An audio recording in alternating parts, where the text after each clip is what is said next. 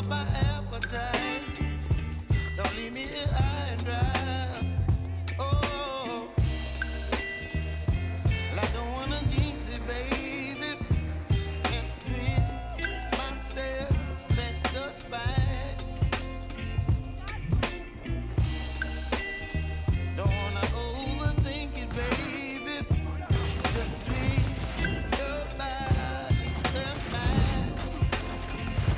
All right, I'm at the alley, but there's a bunch of heavily armed dudes here. I think a drug deal's going down.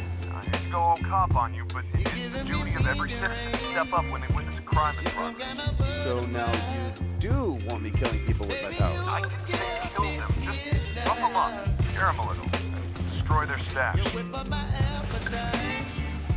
Don't leave me here high and dry. Oh, Delsin, I heard shots. Wanna jinx it, baby. Did you kill them? Hey, I was trying to do my duty as a citizen, man. They were trying to do their duty as criminals. Oh, but I don't miss you, baby.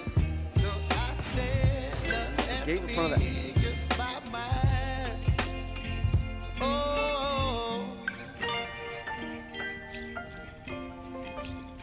Christ. You should see this, man. Speedy Gone Crazy is a tagger. Pretty damn good one. Yeah, well, don't forget she's a murderer, right? Pretty damn good one, too. She sets a lovely altar.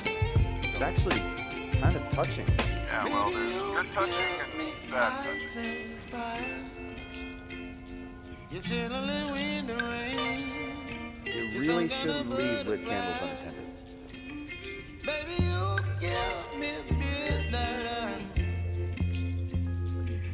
You up my appetite. Don't leave me here high and dry. You gotta admit, Baby, girl you makes a mean give vortex. me ice and fire. You're channeling wind and rain. And now we come to Some the kind of highlight. butterfly. Baby, you give me midnight. Okay, that is full bore crazy. You whip up Okay, so the girl appetite. stops off her takeout, comes here to sit with Neon Friend to tell him all about her day, while she chowders down. You know, Olaf has a location on Alaskan Way. They're used to put up one of the biggest neon signs in the city. Hey, if I had neon powers and a Chowder Jones, that's where I'd hang. On my way.